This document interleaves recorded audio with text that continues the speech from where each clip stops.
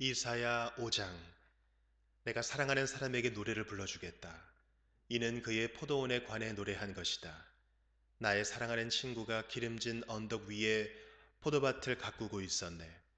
그가 땅을 일구고 돌을 골라내어 가장 좋은 포도나무를 심었다네. 그 한가운데에 망대를 세우고 그 안에 포도주 틀도 만들었다네. 그는 거기에 좋은 포도가 열리기를 바랐지만 나쁜 포도가 열렸다네. 자, 예루살렘에 사는 백성아, 유다 사람들아, 나와 내 포도밭 사이에서 판단해 보아라. 내가 내 포도밭을 위해 무슨 일을 더 할 수 있겠느냐? 내가 할 수 있는 일은 다 했다. 좋은 포도가 열리기를 바랐지만 어찌하여 나쁜 포도가 열렸을까? 이제 내가 내 포도밭을 어떻게 할지 너희에게 일러주겠다. 울타리와 담을 무너뜨려 짐승들에게 짓밟히도록 하겠다. 내가 그 밭을 황무지로 만들겠다. 거기서 더 이상 김맥이나 손질도 못하게 하겠다. 그 밭에서는 잡초와 가시가 자랄 것이다. 내가 또 구름에게 명령하여 그 위에 비를 내리지 못하게 하겠다. 만군의 여호와의 포도밭은 이스라엘 민족이요 주께서 아끼고 사랑하는 나무는 유다 백성이다.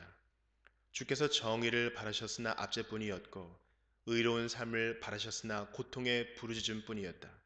오호라 다른 사람들이 집과 밭을 차지할 수 없도록 집에 집을 더하고 밭에 밭을 더하여 이 땅 가운데 홀로 살려 한 너희에게 재앙이 닥칠 것이다. 만군의 여호와께서 내 귀에 대고 이렇게 말씀하셨다. 많은 집들이 버려져서 제 아무리 크고 아름다운 집이라 하더라도 사는 사람이 없을 것이다. 그때가 되면 열흘가리 포도밭에서 포도주가 한 바트밖에 나오지 않을 것이며 씨앗 한 호멜지기에서 곡식은 한 에바밖에 나오지 않을 것이다. 오호라 아침에 일찍 일어나 독한 술을 찾는 사람과 밤늦도록 포도주에 취한 사람에게 재앙이 닥친다. 그들은 잔치를 베풀어 수금과 비파와 소고와 피리를 연주하며 포도주를 마시지만 여호와께서 이루시는 일에는 관심이 없고 주께서 하시는 일도 거들떠보지 않는다.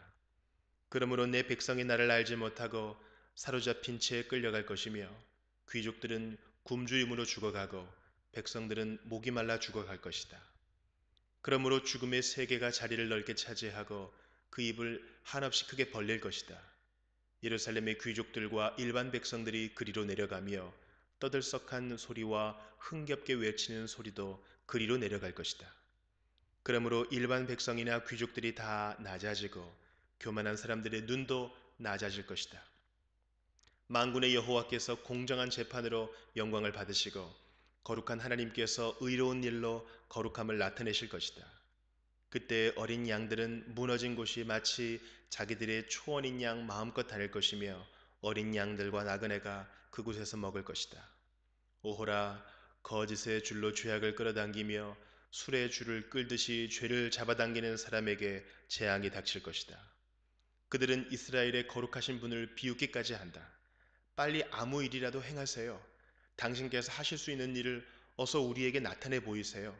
우리는 당신의 계획을 보기 원해요. 오호라, 악한 것을 선하다고 하고 선한 것을 악하다고 하는 사람에게 재앙이 닥친다.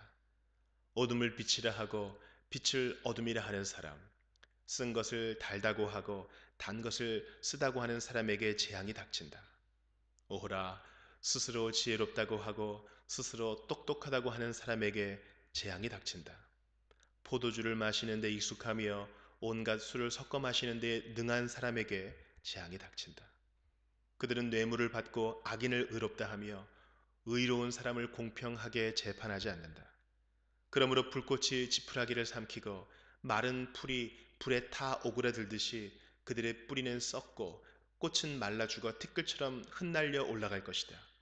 그들은 만군의 여호와의 가르침을 따르지 않았고 이스라엘의 거룩하신 하나님의 말씀을 멸시하였다. 그러므로 여호와께서 자기 백성에게 크게 노하셔서 손을 들어 그들을 치시니 산들마저 흔들리고 사람의 시체가 쓰레기처럼 거리에 나뒹군다. 그런데도 하나님의 분노가 꺼지지 않고 그의 손은 여전히 뻗쳐 있다. 하나님께서 깃발을 드셔서 먼 곳의 나라들을 부르시고 신호를 보내어 땅 끝에서부터 백성을 부르신다. 보아라, 그들이 빠른 속도로 달려오고 있다.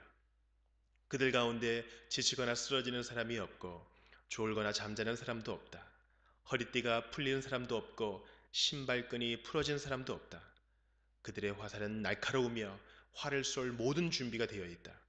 말들의 발굽은 바위처럼 단단하고 전차 바퀴는 회오리 바람처럼 돌아간다. 그들의 함성은 사자가 울부짖는 소리 같고 어린 사자의 으르렁거리는 소리 같다. 그들이 함성을 지르며 사냥감을 움켜쥐지만 아무도 그들을 막지 못한다. 그날에 그들이 바다의 파도처럼 함성을 지를 것이다. 사람들이 땅을 바라보면 오직 어둠과 고통만 보일 것이다. 빛 또한 구름에 가려져 어두워질 것이다.